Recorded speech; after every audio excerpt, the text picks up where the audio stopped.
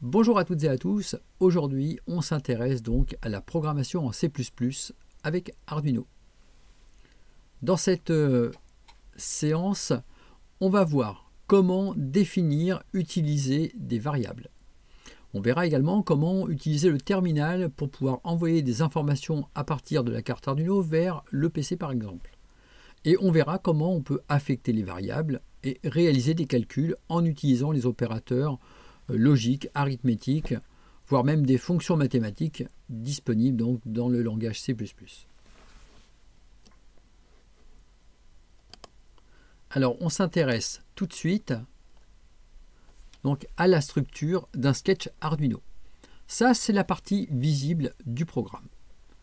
Dans ce sketch, on trouve une première fonction, une procédure, donc setup.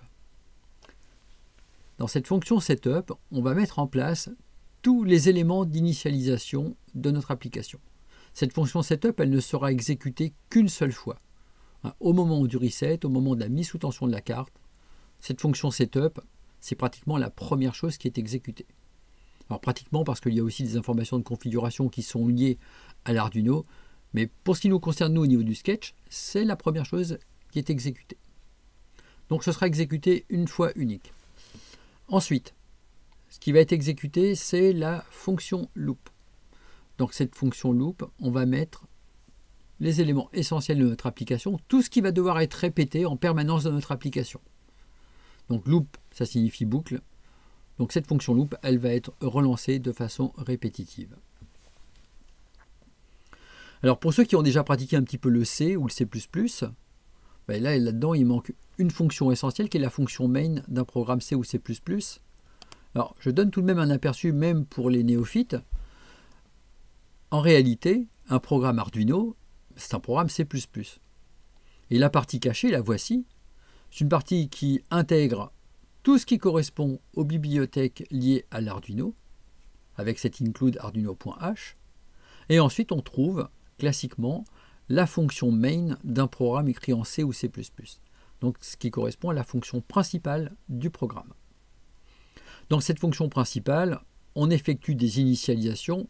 Alors je n'en parlerai pas aujourd'hui, c'est trop pointu, mais on pourra voir ça dans des vidéos, ultérieures. Alors il y a d'autres actions, et on trouve enfin la fonction de setup. Donc on le voit, cette fonction de setup exécutée une fois. Donc ça veut dire que ça lance la fonction setup que vous aurez écrite, et une fois qu'elle est terminée, hop, on revient ici, on passe à la suite.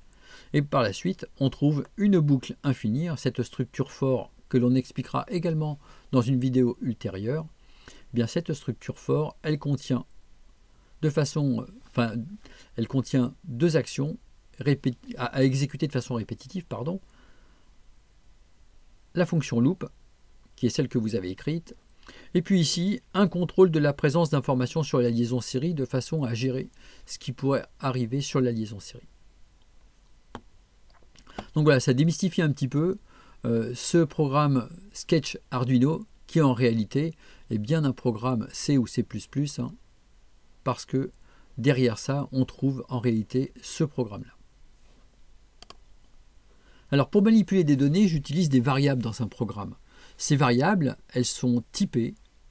Ça veut dire qu'elles manipulent un type de données bien particulier qui est imposé et elles sont stockées dans la mémoire SRAM, c'est-à-dire la mémoire statique, et elles sont utilisables pour faire des calculs. Alors les mémoires statiques, dans le cas de l'Arduino Uno, on en a parlé la dernière fois, c'est une mémoire de 2 kilooctets. Premier type de données que l'on va manipuler, c'est même le type qu'on manipule peut-être bien le plus souvent sur euh, une carte de type Arduino Uno. Ce sont des entiers. Des entiers codés sur 8 bits. Alors ces entiers codés sur 8 bits, on en dispose de deux types.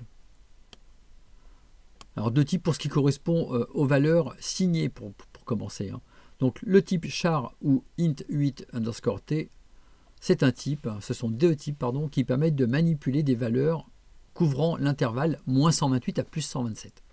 Attention, pas de chiffre à virgule ici. Hein. Ensuite, pour les données qui ne sont pas signées, c'est-à-dire positives tout le temps, hein, positif ou nul, on a le unsigned char ou le uint 8 underscore t, avec des valeurs de 0 à 255. Alors si vous voulez en savoir plus sur l'origine de ces intervalles, pourquoi sur 8 bits je peux coder une valeur allant de moins 128 à plus 127 ou une valeur allant de 0 à 255, je vous invite à utiliser la fiche qui va se présenter maintenant pour consulter les vidéos sur le nombre et l'ordinateur dans lesquelles j'explique euh, tous ces modes de codage. Ensuite, on peut avoir affaire à des données codées sur 16 bits. Alors, les données codées sur 16 bits, pour ce qui est signé, ce sont les int ou les int 16 underscore t, avec des valeurs qui vont de moins 32 768 à 32 767. Pour les valeurs non signées, on trouve le unsigned int ou uint 16 underscore t avec des valeurs qui vont de 0 à 65 535. A noter, vous l'avez remarqué, que sur le second type que je propose à chaque fois, eh bien ce second type a un avantage, c'est qu'il apporte de la clarté.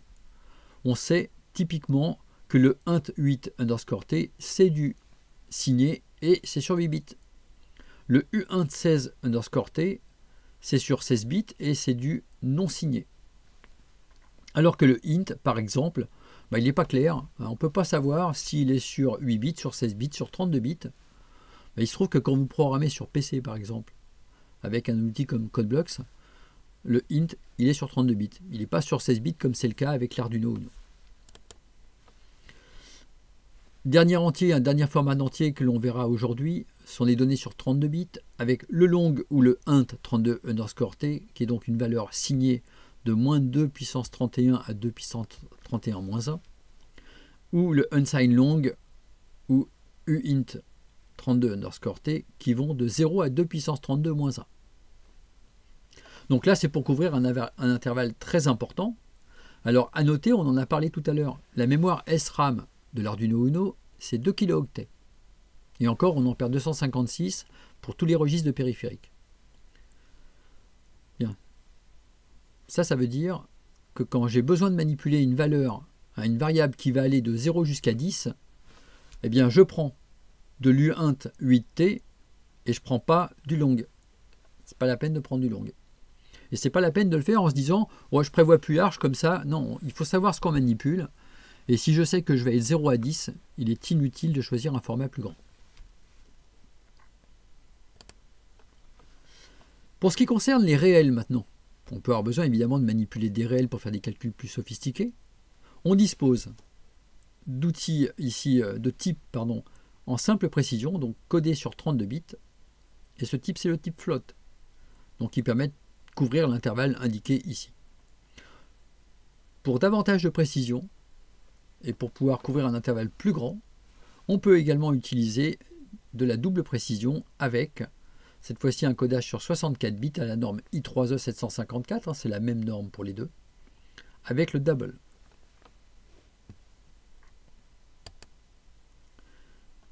On s'intéresse maintenant au codage des caractères. Ce codage des caractères, il se fait avec le type char qu'on a déjà vu tout à l'heure. Donc ce type char, quand on le restreint à un usage pour les caractères, eh bien, on va coder en réalité un entier de 0 à 127.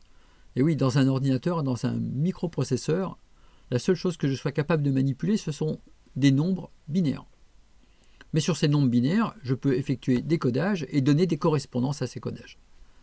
Donc ici, avec un char, je vais normalement de moins 128 à plus 127.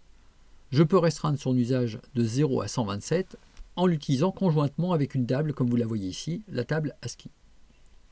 Dans cette table, si je zoome un petit peu, je vois que le caractère grand A, donc A majuscule, a pour correspondance 65 en décimale. Donc chaque caractère affichable a une correspondance sous une forme décimale que l'on code. Donc le caractère A que je note ici entre simple cote, hein, c'est comme ça qu'on l'utilisera dans un programme écrit en langage C ou C++, a pour équivalent 65 sous une forme numérique en décimale. Alors on s'intéresse à la déclaration des variables. La forme générale pour la déclaration des variables, c'est d'abord d'indiquer un type suivi d'un nom et de façon facultative d'indiquer une valeur initiale. On termine enfin par un point-virgule. Les lignes en langage C se terminent par un point-virgule. Si on veut déclarer plusieurs variables d'un même type, ça peut se faire en séparant les déclarations, les différentes déclarations par des virgules. Les valeurs sont toujours facultatives. Et on termine évidemment par un point virgule. Donc un exemple ici, je déclare un entier i égal à 0 et je déclare un entier j égal à 2. Je peux également déclarer ici un u1 de 16 underscore t, donc une valeur qui va pouvoir varier de 0 à 65 535, que je vais appeler indice, ce sera le nom de la variable, et que je n'initialise pas dans le cas présent. Pour déclarer une variable appelée a de type réel, j'utilise donc float a, point virgule. Mais je peux également déclarer des réels en spécifiant une valeur initiale. Donc float b égale 1 exposant 5, c égale 0,01. Et je termine toujours par un point virgule. Je peux de la même façon déclarer un caractère, char ch1, avec comme valeur initiale le caractère a minuscule, on le voit ici précisé entre simple cote. Point virgule. C'est donc l'équivalent dans la table ASCII qui va être récupéré. Et ce sera donc la valeur numérique de la table ASCII qui sera codée dans CH1. Et ici un CH2 qui n'a pas de valeur initiale. Alors on s'intéresse à quelque chose de très important qui est la portée des variables.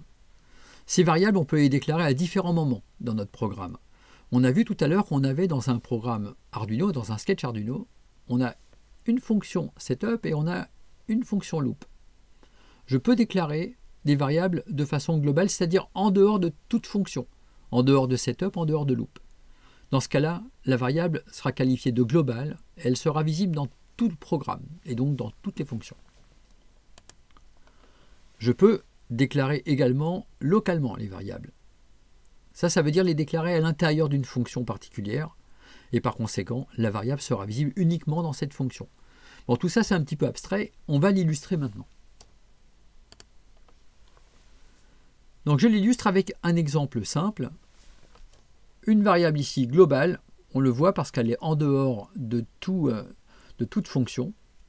Ensuite, la fonction setup avec une variable i de type int et la fonction loop avec deux variables déclarées, une variable i de type int et une variable x de type float. On va voir maintenant comment ça se comporte au niveau de la création, de la destruction de ces variables dans la mémoire. Ça, c'est quelque chose d'absolument fondamental. Hein. Il faut vraiment, euh, vraiment avoir la patience de regarder cette partie-là. Donc ici, je déclare donc euh, la variable durée. C'est un long, ça veut dire que c'est codé sur 4 octets. Donc dans la mémoire SRAM, ça prend 4 emplacements, puisque la mémoire SRAM, c'est une mémoire qui est articulée en octets. Ensuite, le nom de la variable, je l'ai un petit peu étendu j'ai ajouté un global point devant euh, pour préciser que cette variable durée, c'est une variable qui est globale. Donc on lui fixe la valeur 3 et pour la valeur, on va donc trouver dans la case correspondante la valeur 3. Alors dans les quatre cases correspondantes, on va coder un entier sur 4 octets avec la valeur 3. Alors maintenant, on passe à la fonction setup. On rentre dans la fonction setup. Il y a la variable i qui est déclarée on réserve donc deux emplacements en mémoire, puisque je vous rappelle qu'un int, c'est codé sur 16 bits, hein, donc sur deux octets. Le contexte, c'est la fonction setup. Donc cette variable, je l'appelle d'un point de vue contextuel setup.i. Alors pourquoi je fais ça? Eh Pour bien montrer que la variable ici, int i, qu'on va trouver dans loop, n'a rien à voir avec cette variable i ici. Elle sera vraiment différente. Bien, donc on prend les emplacements 00105 en hexadécimal et 00104. Pas de valeur initiale, donc un point d'interrogation, ça veut dire que dans la mémoire, il n'y a pas forcément de valeur spécifique, c'est pas forcément un zéro qu'on va trouver. Ça montre l'importance d'initialiser les variables d'ailleurs. Au moment où on arrive sur la collade de fermeture, bien cette variable i, elle était locale à la fonction setup. Comme je sors de la fonction setup, la variable disparaît. C'est logique. On rentre maintenant dans la fonction loop. On initialise la variable i. Donc que j'appelle loop.i en prenant son contexte.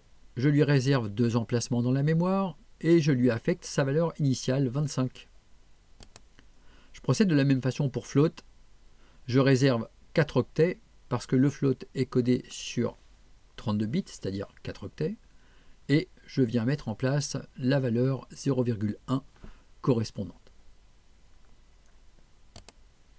On effectue un calcul, i égale i fois 2, donc ça veut dire que i devient i fois 2, on avait 25 pour i, 25 fois 2 donne 50, et on change la valeur de la variable i, hein, qui est locale à la fonction loop.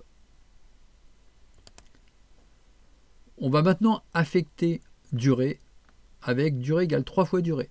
On avait 3 initialement, on multiplie par 3, ça fait 9, et donc la variable globale est modifiée. Arrive le moment où on sort de la fonction loop, et quand on sort de cette fonction de boucle, eh bien, logiquement, les variables qui étaient déclarées à l'intérieur sont détruites. Elles sont détruites, ça veut dire qu'on a perdu les valeurs qu'il y avait dedans.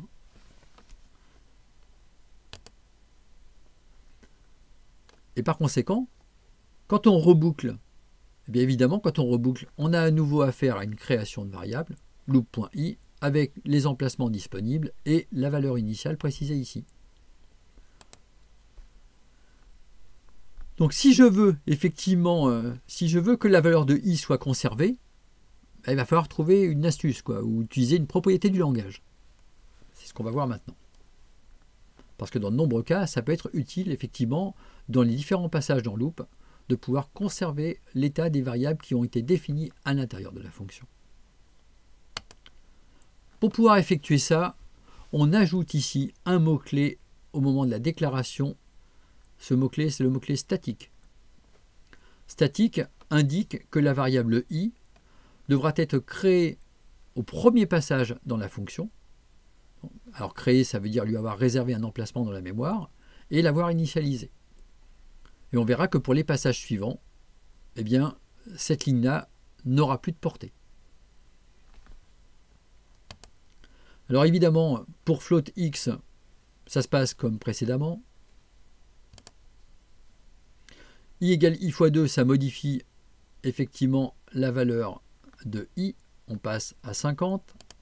Durée égale 3 fois durée, on passe à 9, hein, puisqu'on était à 3. Je vous rappelle qu'on a repris le cycle entièrement là. Quand on arrive à la fin, ben, quand on arrive à la fin, les variables locales qui ne sont pas statiques sont libérées. C'est le cas donc de x qui n'est pas statique. En revanche, euh, i étant une variable statique, elle est conservée dans la mémoire. Et on conserve donc le dernier calcul qui a été effectué avec i, c'est-à-dire 50. Donc ça, c'est la fin du premier passage dans loop la variable i n'a pas été détruite, hein. on a conservé le calcul qui a été effectué. Second passage, et même c'est vrai pour tous les passages suivants, la valeur initiale de i n'est plus prise en compte. En fait, cette ligne-là n'est globalement plus prise en compte. Hein, on conserve ce qui est déjà donc euh, réservé au niveau de la mémoire. Float x est créé dans la mémoire, initialisé. On effectue un calcul sur i, i devient i fois 2, où i prend pour valeur i fois 2. On avait 50, on passe donc à 100. Durée égale 3 fois durée, on avait 9, on passe donc à 3 fois 9, 27. Et quand on sort, on détruit loop x, on conserve loop.i, etc. Donc voilà, on a vu pas mal de choses hein, sur euh, le fonctionnement de ces variables avec euh, leur portée locale, globale, et les mécanismes de création, conservation dans le cadre statique ou destruction lorsque les variables ne sont pas statiques. Alors maintenant, on s'intéresse à l'affichage dans le terminal. Alors cette vidéo est un petit peu longue peut-être, et on va voir maintenant donc comment afficher dans le terminal. Alors ici, un exemple de programme. Hein, cet exemple de programme, je vous propose de connecter votre carte Arduino et de le lancer. Alors pour ça, hop, je vais, euh, je vais donc lancer le programme Arduino.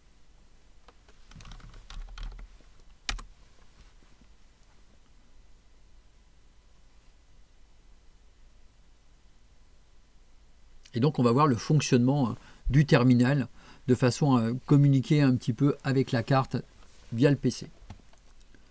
Alors ça c'était mon programme Blink, je vous propose de créer un nouveau programme, un nouveau sketch. Voilà. Donc ce nouveau sketch, eh bien, pour pouvoir utiliser la liaison Siri qui permet de communiquer avec le terminal, euh, pardon, pas setup du tout, on commence par utiliser un objet. Alors c'est là qu'on fait un peu de C++ sans le savoir. Hein. Serial, c'est donc un objet qui permet d'exploiter la liaison Siri. Et la liaison Siri, hein, je vous rappelle que c'est ce qui est connecté via l'USB un convertisseur série USB à votre PC. Donc serial.begin, ça va nous permettre d'initialiser la liaison Siri. Alors on m'a dit que c'était parfois trop petit, j'agrandis, on a la place. Bien, donc ça, il y a le point begin. Et ensuite, on donne la vitesse de cette liaison. Donc 115 200 bits par seconde. 115 200 bauds. Donc ça, c'est la vitesse de communication entre euh, le PC donc, et notre euh, microcontrôleur présent sur la carte Arduino. On va euh, afficher une première information et pour afficher, on a accès à deux méthodes la méthode print ou la méthode println. Je propose d'utiliser le println. La différence entre les deux, c'est que le println provoque un retour à la ligne.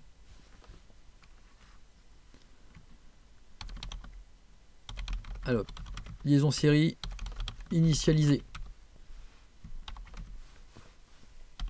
Donc quand on est quand on place un texte, ce texte, on l'écrit entre guillemets. Et vous remarquerez que les lignes se terminent toujours par un point virgule. Bien, eh ben on va lancer ça dans la carte Arduino. Alors, il faut d'abord enregistrer le sketch. donc moi, tuto Arduino. Je vais l'appeler premier programme. Donc le croquis est compilé, hein. le sketch est compilé.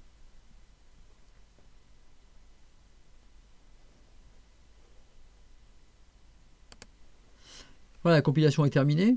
c'est relativement rapide. Et pour ouvrir le terminal série, on va donc ici.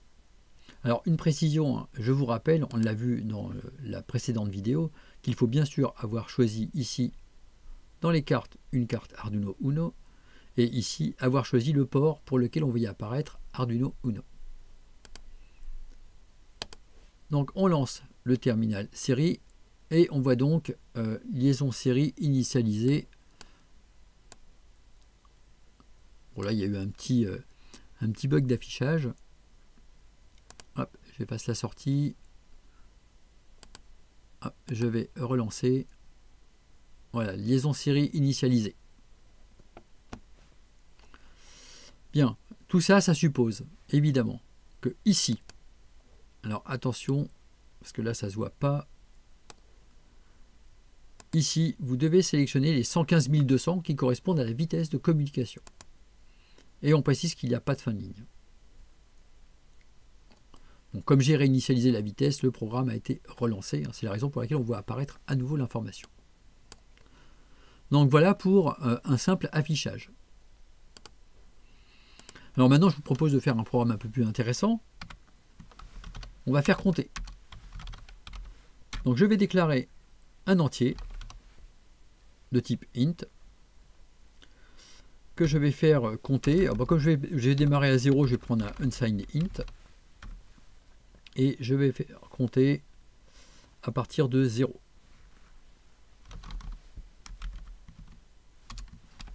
Allez, j'appelle temps cette variable. Ça va être le temps en secondes. On va utiliser une fonction qui s'appelle délai, qui prend, enfin qui permet de réaliser une pause de x millisecondes. Ici, j'ai choisi 1000 millisecondes. Enfin, j'affiche la valeur correspondant donc à temps. Pour ça, on va faire ça en deux temps. On va faire un simple print temps égal comme ceci entre guillemets. Et ensuite, on va afficher la valeur de temps.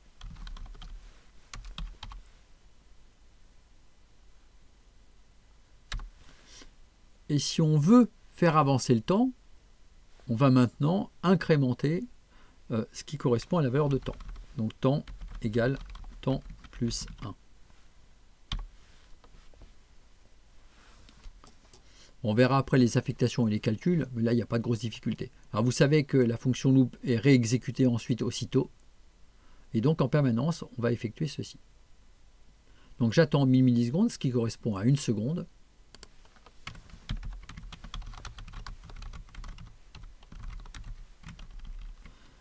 on peut mettre des commentaires dans les programmes, c'est même important de le faire. Hein.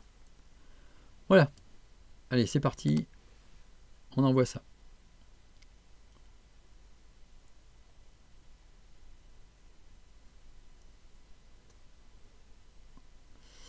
Voilà, le croquis est exécuté. On ouvre la liaison série. Donc liaison série initialisée et c'est parti. Alors excusez-moi, j'ai fourché, là j'ai oublié un S ici, c'est pas très heureux. Donc je relance le sketch. Oui, c'est vrai que quand on écrit un programme, on n'est pas dispensé d'avoir une orthographe qui soit sûre.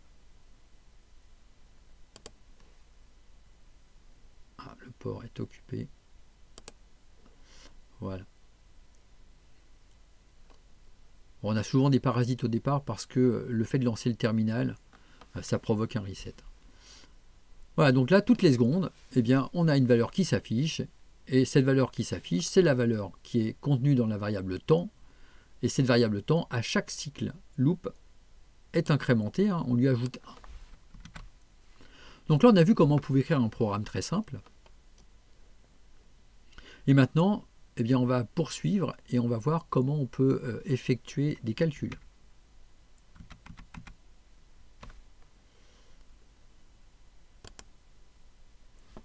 Alors pour faire des calculs, pour faire des calculs, je dispose d'un opérateur d'affectation, c'est l'opérateur égal. Alors on l'a déjà utilisé tout à l'heure avec temps égale temps plus 1. Et on peut l'utiliser évidemment, on l'a vu, au moment des affectations. Alors ici, affectation un petit peu particulière sur cet exemple, j'ai choisi un U18T, donc un entier codé sur 8 bits, non signé. Cet entier, je l'appelle A, et je lui affecte une valeur en binaire. Donc vous voyez, avec le commencement par 0 B minuscule, je peux écrire des valeurs sous une forme binaire. Je peux également écrire des valeurs sous une forme hexadécimale en utilisant 0 petit x, une valeur hexadécimale. Bon, pour le reste, on a déjà vu. Pour pouvoir effectuer euh, des opérations, je vais utiliser des opérateurs arithmétiques. Ces opérateurs arithmétiques sont les opérateurs usuels que vous connaissez, hein, plus, moins, diviser, multiplier. Un opérateur un petit peu moins connu, c'est l'opérateur modulo. C'est le pourcent qui correspond en fait au reste de la division entière. Donc par exemple, si vous divisez 7 par 5, vous obtenez 1, reste 2. Donc effectivement, j'obtiens ce qui correspond au reste. Alors, des exemples. Bah, par exemple, j'initialise B avec la valeur 6, a, je ne lui donne pas de valeur, hein, c'est donc des entiers euh, non signés sur 8 bits. Je déclare également deux réels, y, pas de valeur initiale, et x égale 0,1. Et ensuite, j'effectue des opérations, par exemple a égale 3 fois b, plus b pour 102, point virgule, je vous rappelle qu'on termine à chaque fois par un point virgule, ou y égale 2.2 fois x moins 5, et je termine par un point virgule. On a également des opérateurs qui permettent de gagner un petit peu de temps dans l'écriture des programmes pour pouvoir incrémenter ou décrémenter. Ce sont les opérateurs plus plus et moins moins. Je vous donne tout de suite un exemple ici. i plus plus, point virgule, c'est totalement équivalent à avoir écrit i égale i plus 1. Donc on ajoute 1 à la variable i. On peut également réaliser des affectations avec calcul Alors il existe pour ça plusieurs opérateurs, plus égal, moins égal, slash égal, étoile égale, et i plus égale 3, point virgule, c'est tout à fait équivalent à écrire i égale i plus 3. Voilà, bon, ça gagne un petit peu de temps dans l'écriture. Ensuite, opérateur logique bit à bit. Alors les opérateurs logiques bit à bit, c'est l'éperluette pour le et bit à bit. C'est euh, la barre verticale à laquelle vous accédez sur un PC avec Alt graphique 6. Hein, je répète, c'est sur Alt graphique 6 qu'on obtient cette barre verticale. Ça, c'est le OU bit à bit. Et ensuite, on dispose ici donc euh, du, euh, de l'accent circonflexe pour le OU exclusif bit à bit. Exemple, si je déclare U18T A sous une forme binaire, B sous une forme binaire, et ensuite trois autres variables pour lesquelles je ne donne pas de valeur initiale, OU et ou X, qui sont également des U18 underscore T, eh bien je peux effectuer un OU bit à bit et je l'affecte à OU, c'est-à-dire OU égale A ou B, bit à bit, point virgule. Ça, ça va donner un OU, donc bit à bit entre les deux. Et on aura, si on fait le OU, 1 ou 0, ça donne 1. 1 ou 1, ça donne 1. 0 ou 0, ça donne 0. 0 ou 0, ça donne 0. 1 ou 1 donne 1. 1 ou 0 donne 1. 0 ou 0 donne 0. 0 ou 1 donne 1. Bon, effectivement, on a un comportement qui est donc bit à bit. On retrouve exactement le même comportement pour le et et le ou exclusif. Donc je vous passe le détail. En revanche, une petite précision, c'est que si on veut afficher les informations également sous forme binaire, on peut ajouter un paramètre à la méthode println que l'on a vu tout à l'heure sur l'objet serial en ajoutant une virgule et ici on précise le mode d'affichage. Donc bin pour du binaire, dec pour du décimal, ex pour de l'hexadécimal et oct pour de l'octal. Et là on a couvert toutes les possibilités. Voilà, on a vu euh, pas mal de choses dans cette vidéo. Je vous propose de voir une dernière petite chose avec des calculs mathématiques. Et pour ça, on va revenir à notre programme. Alors, on va fermer le terminal. Ah, il s'est presque passé 6 minutes depuis qu'on a vu le programme tout à l'heure. Bien, je supprime ça. Allez, mon objectif, c'est de faire un petit programme qui va me permettre d'afficher euh, un sinus.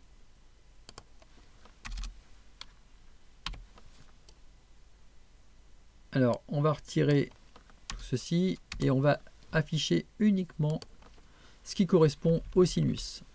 Allez, pour ça, on dispose de la fonction mathématique sinus.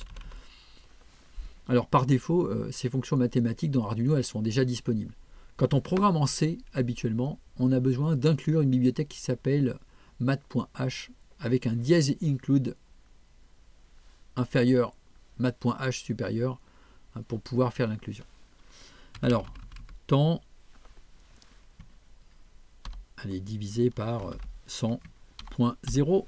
Alors 100.0 pourquoi? Bah, Pour que la division soit bien euh, sous la forme d'un résultat d'un flottant. Parce que si je divise un entier par un entier, j'obtiens un entier, et là ça ne produira pas forcément l'effet escompté. Donc j'ai abaissé le délai, j'ai abaissé le délai maintenant à 10 millisecondes. Bien, avec ça, on devrait avoir un beau sinus apparaître. Allez, je vais lui donner une amplitude de 3 en multipliant par 3. Et on lance.